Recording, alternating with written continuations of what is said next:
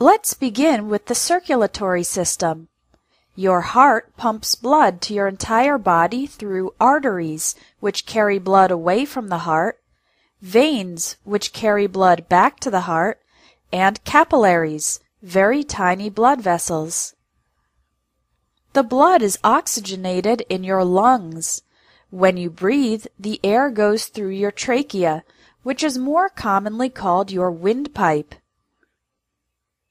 Your skeleton is made of 214 bones. The places where two bones come together are called joints. For example, your knees, elbows, wrists, ankles, shoulders, etc. Here are some of the most common parts of the skeleton. Skull, ribs or rib cage, pelvis, spine, your muscles and bones are connected by ligaments, which connect bone to bone, and tendons, which connect muscle to bone.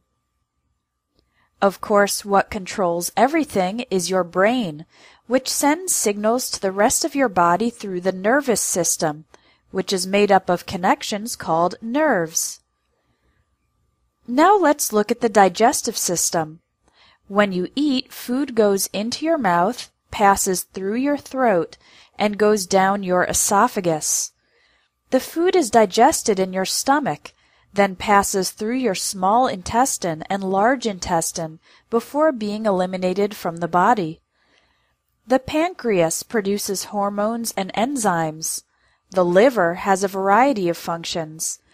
And the gallbladder stores a substance that helps in digestion. Your kidneys filter your blood and remove toxins, which they send to the bladder to be eliminated in urine. Finally, we have the reproductive system. Men have two testicles which produce sperm, the cells that carry the male's genetic material. Women have two ovaries, which produce eggs that travel through the fallopian tubes to the uterus, often called the womb. This is where the baby develops.